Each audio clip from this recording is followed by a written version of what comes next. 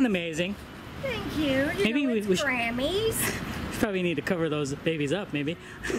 hey, your thoughts of this whole Prince Henry and Meghan Markle uh, situation?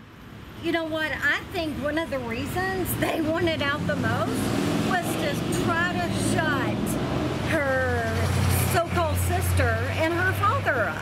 I mean, I think they have had enough of him, and I think they think that maybe this will quieten him down a little.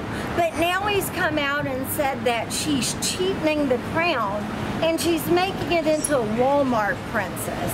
It's like, why don't you just shut your mouth about your daughter?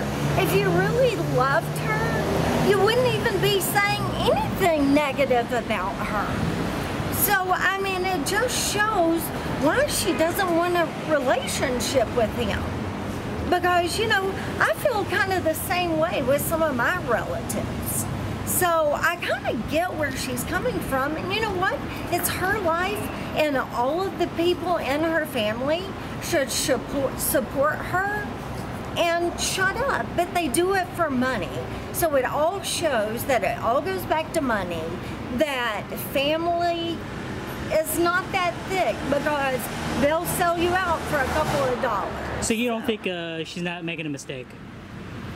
You know what? Maybe they will take a break for a while and think about coming back in. You know, in a couple of years, maybe after they had more children. So, I mean, I, I don't think this is the end. I think this is just the be- beginning to a new future. If you were uh, part of the royal family, would you ever give up the title? You know what? To live under those kind of guidelines and str- I mean, they wouldn't. They would kick me out to begin with. Hello. Hello. Uh, I mean, I would be like Fergie. Uh, You know, she's a redhead.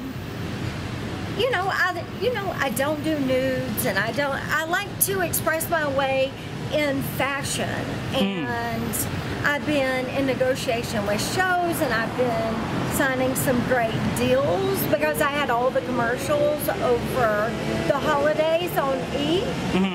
So uh, I understand kind of why she quit. I mean, she thought she could keep a stiff upper lip, and it's like you can't live life like that only for so long. Boom. Thanks, Phoebe. What's going on, guys? It's Ryan Fu.